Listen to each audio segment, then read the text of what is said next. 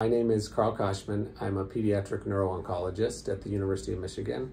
I'm also the clinical scientific director of the Chad Carr Pediatric Brain Tumor Center here.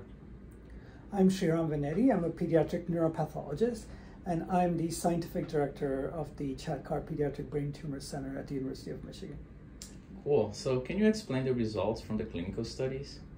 Yeah, so this um, paper that came out today in Cancer Discovery is really exciting. Um, it's the biggest study looking at the efficacy and mechanism of this uh, drug ONC201 in diffuse midline glioma with H3K27M mutation. The clinical studies were an aggregate analysis of two studies that had been open over the last half decade. One was a phase one and one was an expanded access protocol. And we basically took the patients on those two studies that had been treated with the phase two dose and all treated in the same uh, way and monitored the same way. And when we did that analysis, we were excited to see that for patients that were treated after their initial radiation but before recurrence, they had an overall survival that was 21.7 months. And um, the um, reason that that's an exciting finding is that when we look at historical controls with patients with this diagnosis and mutation, those numbers are closer to 12 to 15 months. And so we'll need future studies to validate this, but it, it shows us that there's a really exciting um, evidence that there's um, this drug is having a signal in this tumor. Okay, and what was discovered about how ONC201 works in these cells?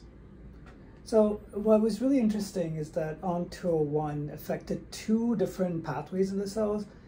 Um, the first pathway was it was zapping the mitochondria and this shut down energy production in tumor cells. And the second was it reversed the epigenetic phenotype.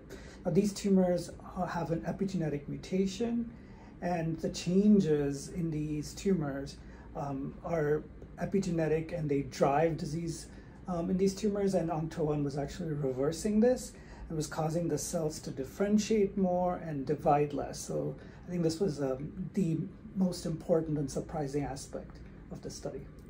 And what is the next step?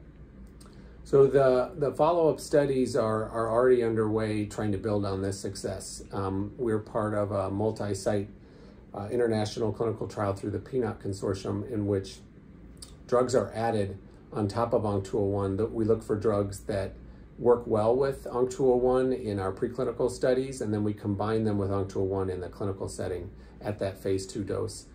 Um, there's also work underway to see if, if we can build upon the success of ONC201 by adding immunotherapy. So there are studies in the lab and to be established in the clinic, uh, um, uh, hopefully in the near future, where ONC201 will be combined with viral therapy and potentially CAR T therapy. And why were these results surprising? So these results were really surprising because we could see these changes in patient tumor samples.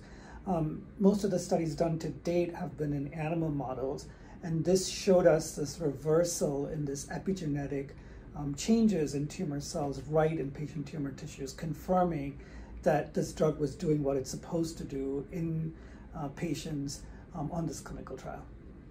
Yeah, and I'll just add to that that um, there have been a lot of studies in this patient population that that haven't helped or haven't improved um, outcomes, and so I think um, we were just surprised to see that there appeared to be this signal. Um, and that it gives us something to build upon um, for the future of treatments for these patients.